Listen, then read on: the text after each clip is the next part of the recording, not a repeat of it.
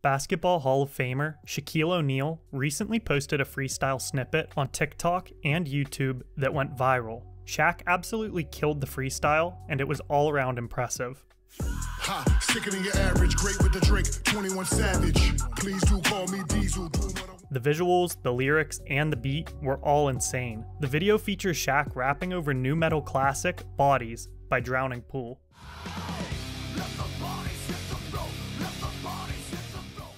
It's a bizarre experience, but it definitely works. It makes me wonder if this is just a one off freestyle, or if he's teasing a new album. Some people may not know, but during the 90s, Shaquille O'Neal released four rap albums, including his platinum certified debut, Shaq Diesel. At this point, Shaquille O'Neal has pretty much done it all. From winning three NBA championships with the Lakers and one with the Miami Heat, to a sports analyst for TNT, to an electronic DJ as DJ Diesel, to a major investor in real estate, to a Hollywood movie star with over 70 credits on his IMDb profile, and even a commercial actor for tons of things like pizza, icy hot, and car insurance. Get your anonymous online quote and ride with the general.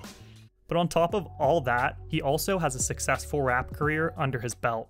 Life's a B and then your D. Refer to Nasty Nines Illmatic CD number three static. Shaq was on fire in the 90s. He was playing basketball for LSU and named College Player of the Year in 1991.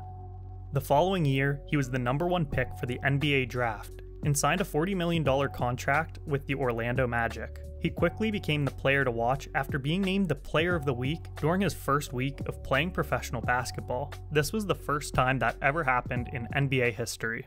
O'Neal runs the floor, takes it all the way! In 1993, Shaq was barely a year into his contract with the Orlando Magic when he signed again, but this time it wasn't a contract for the NBA, but rather with a music label, Jive Records. At this point, Shaq was already gaining a ton of coverage as a basketball star, but now, when he wasn't on the court, he was dedicated to showing off his talents in an entirely different way, now as a rapper. That year, he released his debut album, Shaq Diesel, the album sold over a million physical copies and went platinum. It reached number 25 on the Billboard Hot 200.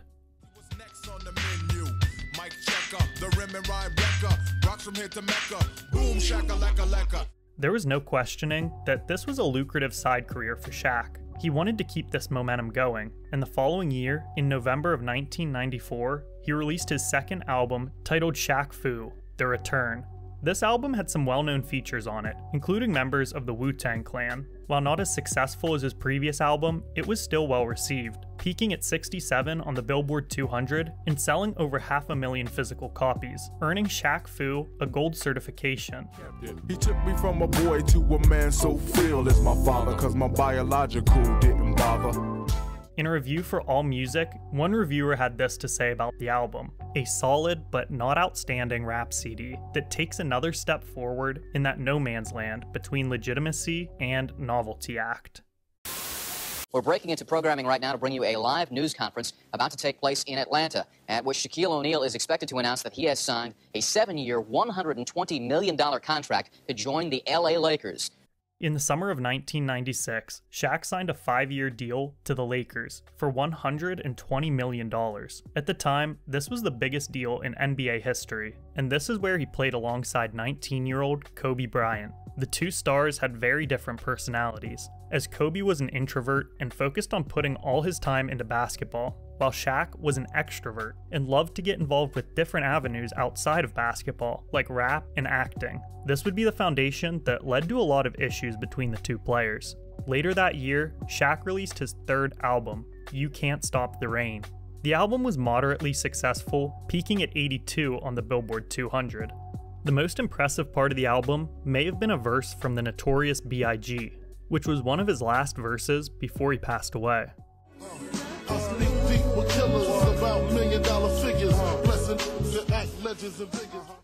Supposedly, the two had even hung out together on the day that Biggie was shot and killed. They were planning to attend a party together that evening, but Shaq had fallen asleep and he missed it. Shaq later said, Big came in and knocked out his verse in like five minutes. I knew then I wasn't that good. Some people think that this may have been demotivating for Shaq, causing him to take his rap career a lot less seriously.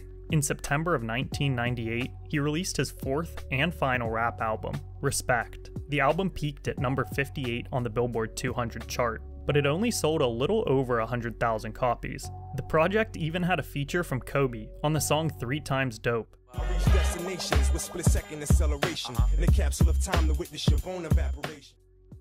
The album had 19 tracks total, and a review from Vibe said that each one straddled the line between mediocre and unlistenable. But Shaq's journey with music didn't stop there. Shortly after, a five year feud was born between Kobe and Shaq. Shaq said that the young superstar wasn't maturing fast enough, and that he was way too selfish for their team to win.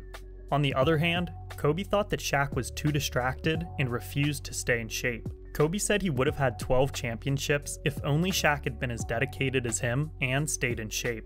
Oddly enough, during this time, Kobe started to work on a rap album of his own, and he even got a verse from 50 Cent, who was one of the hottest rappers at that time. Kobe's album was never released, but many people still thought it was hypocritical of him to work on an album after what he said about Shaq not focusing enough on basketball. Then, in 2004, Shaq was traded to Miami, and the two were no longer teammates, which closed a chapter for the dynamic duo. But later in 2008, Shaq dropped a freestyle dissing Kobe, but he insisted it was all in good fun. But the lyrics said otherwise. Kobe, nigga, tell me how my ass tastes. Okay, Kobe, tell me how my ass tastes. Kobe ratted me out. That's why I'm getting divorced. He said Shaq gave a bitch a meal. I don't do that, cause my name's Shaquille. Not only did Shaq make it sound like Kobe was to blame for his marriage problems, but he also said that Kobe and the Lakers were subpar without him. Shaq received major criticism for the freestyle, and after that, he put the mic down for a while, and he didn't revisit rapping until just recently. During his break, he was still involved with EDM music as DJ Diesel.